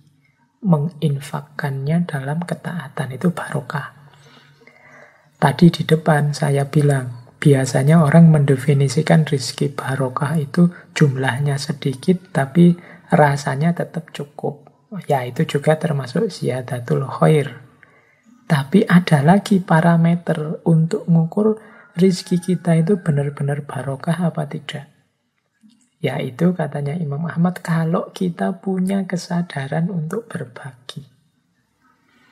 Berarti barokah. Yang namanya rizki itu kan jatah kita. Tidak bertambah, tidak berkurang. Lah kok kita mau berbagi dengan orang lain, berarti rizki kita barokah. Tidak sekedar yang sedikit jadi cukup, yang cukup jadi banyak. Tapi berapapun yang kita peroleh, kita punya kesadaran untuk berbagi. Kita tidak berambisi untuk menikmati sendiri, tapi ingin orang lain juga merasakan serba sedikit apa yang kita nikmati. Oke, jadi itu wasiat dari Imam Ahmad tentang rizki. Jadi kalau rizkinya barokah, insya Allah yang masuk ke dalam diri kita juga hal-hal yang barokah. Kalau sudah yang masuk hal-hal yang barokah, hati kita akan barokah. Hati yang barokah adalah hati yang diridhoi oleh Allah. Seperti yang kita jelaskan sebelumnya. Baik, kita lanjutkan dengan wasiat-wasiat dari Imam Ahmad selanjutnya. Terus ada lagi beberapa nasihat Imam Ahmad tentang kebaikan. Suatu ketika putra beliau, Abdullah, bertanya kepada ayahnya, Wahai ayah, berikanlah wasiat untukku. Kata Imam Ahmad, Ya bunaya anwil khaira fa innaka la tazalu bi khairin ma nawaital khaira. Wahai putraku, milikilah niat yang baik Sesungguhnya dirimu akan selalu dalam kebaikan selama engkau memiliki niatan yang baik. Ketika putra beliau meminta nasihat, Imam Ahmad memberi nasihat, kuncinya kebaikan itu ada di niat yang baik. Ini jadi kunci. Kalau niatnya sudah tidak baik, sebaik apa pun jenis perbuatannya maupun hasilnya, ya tetap nanti nilainya jadi tidak baik. Sodakoh dengan niat biar dia tahu betapa kekayaanku banyak. Ya pahalanya, catatannya bukan sodakoh, bukan berbagi, tapi kesombongan. Bentuknya baik, tapi tertulisnya jadi jelek. Silaturahim itu baik, tapi Niatnya apa? Niatnya adalah biar dia sadar berhadapan dengan siapa dia selama ini. Biar dia tahu seperti apa kebesaranku. Selama ini kan kita tidak pernah ketemu. Kalau ketemu paling dia sadar. Nah ini niatnya di depan sudah keliru. Kalau niatnya buruk, gerbangnya tertutup untuk kebaikan. Yang kita lakukan meskipun bentuk perbuatannya baik, ya catatannya jelek. Jadi penting teman-teman tidak sekedar perbuatan kita baik, tapi dia harus kita buka gerbang kebaikan itu dengan niat yang baik. Kuliah itu baik, karena dia jalan ilmu.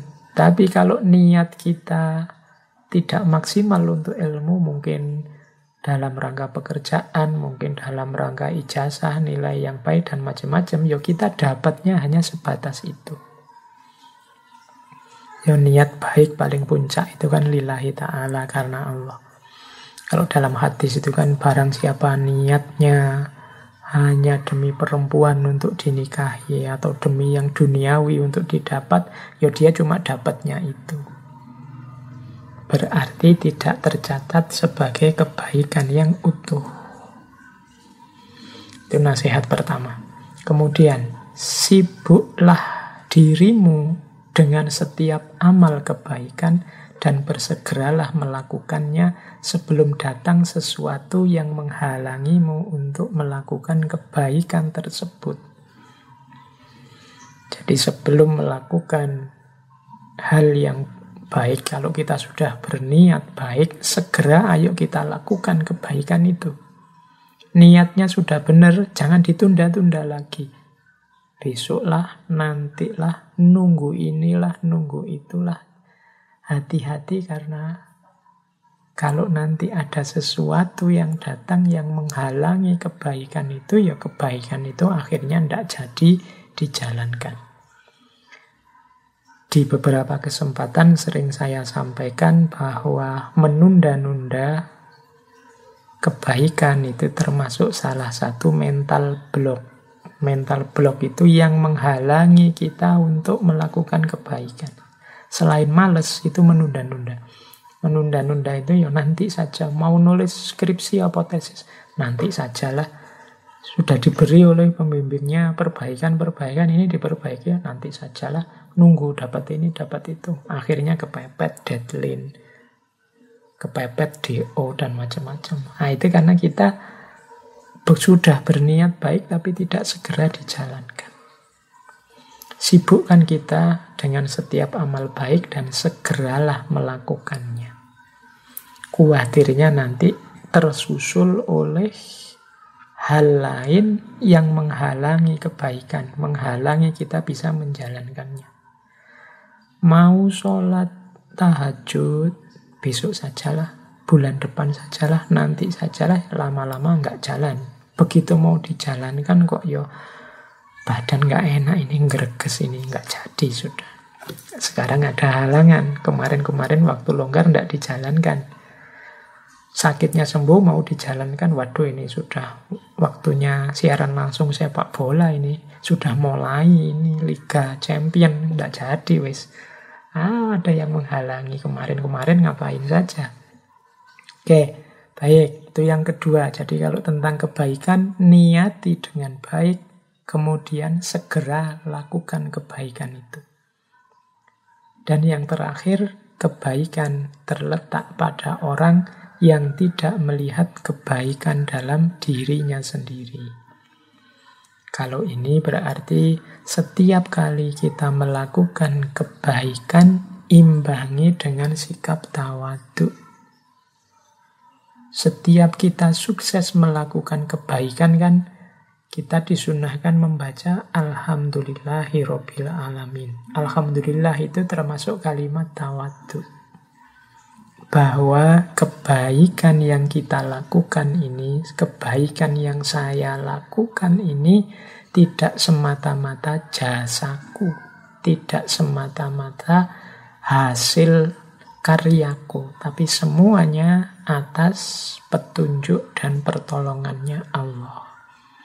Nah, ini namanya sikap tawakal setelah ikhtiar dan niat dijalankan. Niat baik, kaifiat ikhtiar yang baik, segera dilakukan, tidak ditunda-tunda. Kalau sudah berhasil, Alhamdulillahirobbil alamin. Jasa dari lahirnya kebaikan ini semata-mata bukan karena aku, tapi semuanya karena pertolongannya Allah. Eh, terus kita lanjutkan lagi. Kalau tadi tentang amal, rizki, dan ikhtiar, sekarang kita masuk ke suhud. Menurut Imam Ahmad, suhud itu cirinya dua. Pendek angan-angan dan tidak mengharapkan apa yang ada di tangan manusia. Pendek angan-angan itu ndak lau-lau. Ah, seandainya yang jadi presiden aku. Ah, seandainya yang dapat rezeki besar itu aku. Wah, seandainya nah ini panjang angan-angan namanya. Orang zuhud itu pendek angan-angan, tidak mikir macam-macam. Apa pun yang diberikan Allah, aku terima. Nah, ini zuhud namanya. Dan tidak mengharapkan apa yang ada di tangan manusia.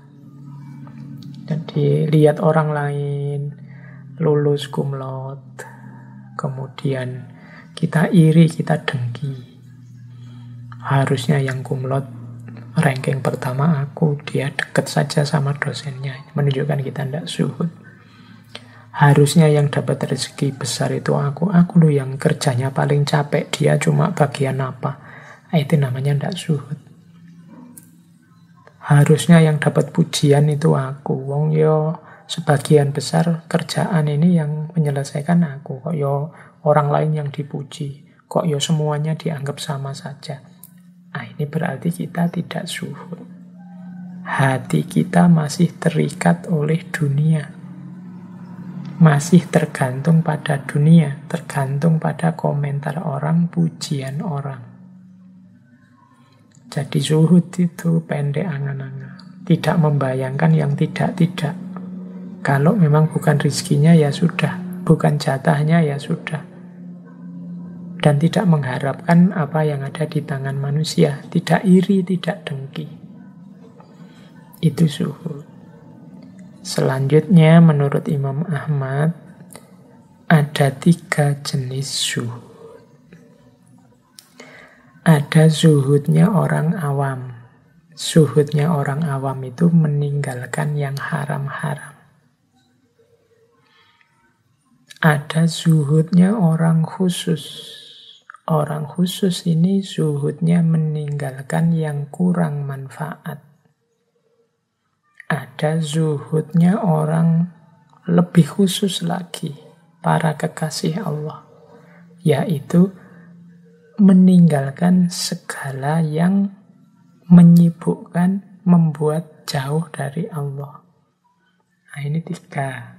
Ya monggo kita introspeksi sendiri-sendiri ya kita ada di level zuhud yang mana. Kalau kita masih berjuang meninggalkan yang haram, berarti kita ada di level zuhudnya orang awam. Kalau kita sudah melampaui itu, Pak, kalau yang haram, yang dosa-dosa itu, Alhamdulillah, saya sudah bisa meninggalkan. Oke, kalau gitu sekarang naik kelas sedikit. Tinggalkan yang kurang manfaat. Ya monggo teman-teman dicek yang kurang manfaat apa. Berlama-lama pegang HP kah? Berlama-lama nongkrong di kafe kah? Berlama-lama ngobrol yang tidak ada gunanya kah? Berlama-lama surfing, googling, nonton drakor, apa pun itu Coba kita introspeksi. Kalau memang tidak terlalu penting, kurang manfaatnya, yo latihan untuk ditinggalkan. Kalau kita sudah sukses meninggalkan yang kurang manfaat ini, Alhamdulillah berarti kita sudah ada di level zuhud yang kedua. Nah, kalau sudah sukses meninggalkan yang kurang manfaat, ayo naik kelas lagi. Kita suhud dengan cara meninggalkan apa pun yang membuat kita sibuk dari Allah, yang membuat kita menjauh dari Allah, yang membuat kita tidak dekat dengan Allah. Jadi kesibukan kita hanya tentang Allah dan untuk Allah saja. Nah, ini berarti orang yang sudah suhud level tertinggi. Orang-orang yang dekat dan mengenal Allah. Nah ini ini nasihat dari Imam Ahmad yang sekaligus sudah beliau lakukan sendiri. Seperti yang disampaikan oleh guru beliau Imam Syafi'i Imam Ahmad itu salah seorang gurunya, imamnya orang suhud. Berarti Imam Ahmad sudah nyampe level kesibukannya hanya tentang Allah dan untuk Allah saja. Baik, kita lanjutkan. Nah, ada lagi nasihat dari Imam Ahmad kepada seseorang yang menurut saya penting untuk kita. Jadi, suatu ketika ada orang datang kepada Imam Ahmad minta diberi nasihat. Imam Ahmad memberi nasihat begini. Jadi Imam Ahmad tidak memberi teori macam-macam. Imam Ahmad hanya mengulang, menegaskan keyakinan orang ini selama ini. Sebenarnya ini juga kepada kita, menyinggung kita selama ini. Karena kadang-kadang kita itu ngerti semua teori tentang kebaikan, hanya saja kita tidak pernah mau dan tidak pernah menyempatkan diri untuk menjalankannya, merenungkannya, dan lain sebagainya. Maka Imam Ahmad isi nasihatnya begini pada orang ini. Jika Allah Azza wa Jalla menanggung rizki, maka mengapa engkau khawatir? Jika ganti dari Allah itu benar, maka mengapa engkau bakhil? Jika surga itu benar adanya, mengapa engkau bersantai? Jika neraka itu benar adanya, mengapa engkau bermaksiat? Jika pertanyaan mungkar dan nakir itu benar adanya, mengapa engkau senang dengan kehidupan dunia? Jika dunia itu fana, mengapa engkau merasa tenang? Jika hisap itu benar, mengapa engkau banyak mengumpulkan harta, bukannya mengumpulkan amal? Dan jika segala sesuatu itu sudah ditakdirkan oleh Allah Azza wa Jalla, mengapa engkau takut? Nah ini nasihat sekaligus sindiran kepada kita yang disampaikan oleh Imam Ahmad ini kan semuanya sebenarnya kita sudah tahu. Kita sudah mengerti. Hanya saja kita tidak pernah secara serius menghidupkan pengetahuan dan keyakinan itu dalam keseharian kita. Kita ngerti kok kalau rezeki itu sudah ditanggung oleh Allah. Tapi coba Berapa kali kita khawatir, berapa kali kita takut tentang rizki. Kalau ditanya orang, rizki itu kan sudah dibagi toh? Jawabannya kita mesti iya. Allah lah yang menetapkan rizki setiap makhluknya. Jangankan manusia, hewan pun, apa pun makhluknya Allah, semuanya sudah ada jatah rizkinya. Katanya Imam Ahmad, lah kok engkau khawatir? Kalau sudah yakin Allah yang menanggung rizki, ya seharusnya engkau tenang. Bekerja semaksimal mungkin sesuai bidangnya masing-masing. Apa pun hasilnya, apa pun rizkinya, diterima. Berarti itu jatahnya. Apa pun yang kita lakukan, ya sudah itu jatahnya. Karena rizki sudah ditanggung oleh Allah. Eh, lo kalau begitu, kalau kita tidak bekerja juga rizki akan datang, Pak. Mungkin, tapi ketika kita tidak bekerja, tidak melakukan apa-apa, ada yang kita langgar. Sunnatullah dan perintahnya Allah, juga tuntunan Rasulullah untuk bekerja. Bahkan menurut Rasulullah itu, daripada engkau minta-minta, ambil kapak dari rumahmu, untuk motong kayu. Itu bukan berarti bekerja itu sesuatu yang wajib. Tidak boleh kita diam saja. Jadi seakan dua hal yang berbeda. Kerja dengan rizki. Kalau rizki sudah ditanggung Allah. Kalau kerja itu kewajiban kita. Jadi jalankan rizki sebaik mungkin. Setelah itu pas. Eh jalankan kerja sebaik mungkin. Setelah itu rizki dari Allah akan datang. Yang kedua, jika ganti dari Allah itu benar, maka mengapa engkau bakhil? Ini sindiran juga buat kita. Al-Quran itu secara tegas menyatakan barang siapa berinfak, barang siapa bersotakoh, Allah akan memberinya, membalasnya dengan berkali lipat. Dan kita sebenarnya juga percaya logika ini.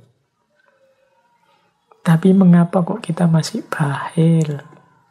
Masih eman untuk berbagi, masih pelit, masih perhitungan kalau ingin memberi atau membantu seseorang. Katanya apa pun yang kita berikan, kita yakin akan diganti oleh Allah. Tapi kok kelakuan kita sehari-hari tidak menunjukkan itu. Ah, ini disindir oleh Imam Ahmad. Jika ganti dari Allah itu benar, mengapa engkau bakhil? Kemudian pertanyaan selanjutnya dan nasihat selanjutnya dari Imam Ahmad, jika surga itu benar adanya, mengapa engkau bersantai? Kita yakin surga adalah hak sebagaimana neraka juga hak. Lah kok kita santai? Kok kita tidak semangat beribadah? Kok kita tidak semangat ingin dekat pada Allah? Masih bisa kita bersantai dengan keyakinan bahwa besok ada surga. Jika neraka itu benar adanya, mengapa engkau bermaksiat? Masih bisa kita melakukan maksiat padahal kita yakin neraka itu hak ada. Berarti pengetahuan kita tentang surga, tentang neraka tidak hidup. Dia berhenti hanya sebagai pengetahuan. Kemudian jika pertanyaan mungkar dan nakir itu benar adanya, mengapa engkau senang dengan kehidupan ini? Ini berarti tentang alam barzah. Yang di situ kita diinterogasi, ditanya tentang kehidupan kita. Harusnya kita tidak lagi jatuh cinta dengan dunia, begitu sadar bahwa dunia ini hanya sementara saja. Nanti segala kelakuan kita di muka bumi akan ditanyakan, akan dihisap akan dibalas. Jika dunia itu fana, mengapa engkau tenang? Jika hisap itu benar, mengapa engkau banyak mengumpulkan harta saja? Kok tidak memperbanyak amal? Dan jika segala sesuatu sudah ditakdirkan oleh Allah, mengapa engkau takut? Semuanya sudah ada garisnya. Sudah ada ketetapan, ada ketentuannya dari Allah. Baik, jadi ini sebenarnya nasihat-nasihat yang isinya sindiran kepada kita. Kita ini orang beriman yang percaya kepada apa pun yang tadi disebutkan dalam nasihatnya Imam Ahmad. Kita percaya Allah menanggung rizki, kita percaya Allah akan mengganti saat kita berbagi, kita percaya surga, neraka, alam barzah, mungkar nakir, kefanaan dunia, perhitungan amal, termasuk juga takdir dari Allah. Tapi mengapa hidup kita, keseharian kita tidak mencerminkan semua itu? Hidup kita penuh dengan kecemasan. Hidup kita ada bermacam-macam ketakutan. Hidup kita tidak serius untuk memperbanyak amal demi kehidupan yang lebih hakiki yang akan datang. Ini nasihat keras dari Imam Ahmad kepada kita. Baik, terus Wah, waktunya saya kira sudah mulai mepet. Teman-teman juga sudah mungkin agak capek mendengarkan saya bicara hampir dua jam. Tidak saya kasih break sama sekali. Terus-terusan ini tadi ngomong. Ya nanti sekalian kita break setelah ini ya. Akan saya akhiri saja kajian kita malam hari ini di sesi yang terakhir tentang Imam Ahmad, saya tambahi satu lagi nasihat dari Imam Ahmad. Tentang takdir atau ketetapan Allah. Ada rumus seperti ini dari Imam Ahmad, jika engkau ingin agar Allah memberikan apa yang engkau sukai, maka gigihlah dalam mengerjakan apa pun yang Allah sukai. Jadi ini pesan untuk kita, ya level kita kan memang masih di sini dan Imam Ahmad ngerti sekali seperti apa kita ini. Maka tips dari Imam Ahmad, kalau engkau ingin agar Allah mengabulkan keinginanmu, memberikan apa yang engkau sukai, Sebaliknya, engkau pun harus serius gigih mengerjakan apa yang Allah sukai. Apa sih yang Allah sukai? Insya Allah kita sudah tahu. Mendekat padanya, berdoa padanya, menjalankan perintahnya semampu semaksimal yang kita bisa. Kita persembahkan hidup ini untuk Allah. Maka sebaliknya, Allah akan mempersembahkan kasih sayangnya yang tidak terbatas untuk kita. Allah akan memberikan tidak saja hal-hal yang kita sukai, tapi juga segala hal yang baik, manfaat, dan barokah untuk hidup kita. Keinginan-keinginan kita itu kan tidak selalu positif, kadang diwarnai hawa nafsu Kadang-kadang kita juga menginginkan sesuatu yang menurut kita baik, tapi di balik itu tersembunyi bahaya-bahaya untuk hidup kita, baik di dunia maupun di akhirat. Nah, insya Allah, tapi kalau jalan untuk mewujudkan keinginan-keinginan itu dengan cara menjalankan apa yang diinginkan dan diridhoi oleh Allah, insya Allah yang diberikan oleh Allah tidak sekedar mewujudkan apa yang kita inginkan, tapi memberikan jauh yang lebih baik dari itu. Mungkin kita inginnya 10, Allah memberikan 12. Atau Allah tidak memberikan yang 10 itu karena Allah tahu yang sepuluh ini efeknya akan merusak dalam hidup kita, Allah menggantinya dengan sepuluh yang lain, dua belas yang lain yang jauh lebih bermanfaat dan barokah untuk hidup kita. Jadi kita tidak bergantung pada amal kita, pada harapan kita, tapi kita pasrahkan semua pada Allah. kita mohon agar keinginan kita terkabul, terpenuhi dengan jalan menjalankan apa yang diinginkan oleh Allah dan menjauhi apa yang tidak disukai oleh Allah. Ini maksud dari wasiat Imam Ahmad yang terakhir ini. Baik, saya kira cukup sampai di sini, oke, teman-teman untuk tema kebijaksanaan Imam Ahmad bin Hambal. Bulan depan insya Allah kita ganti tema lagi biar tidak bosan. Ya nanti kalau ada waktu yang lain bisa kita angkat lagi tokoh-tokoh luar biasa bulan ini mungkin beberapa gagasan dari beliau-beliau atau mungkin satu dua kitab yang akan kita bedah. Semoga nanti ada waktu untuk melanjutkan membahas tokoh-tokoh besar ini.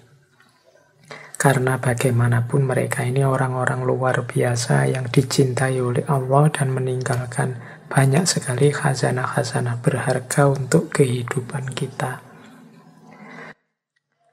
Saya akhiri sekian untuk sesi malam hari ini. Kurang lebihnya mohon maaf.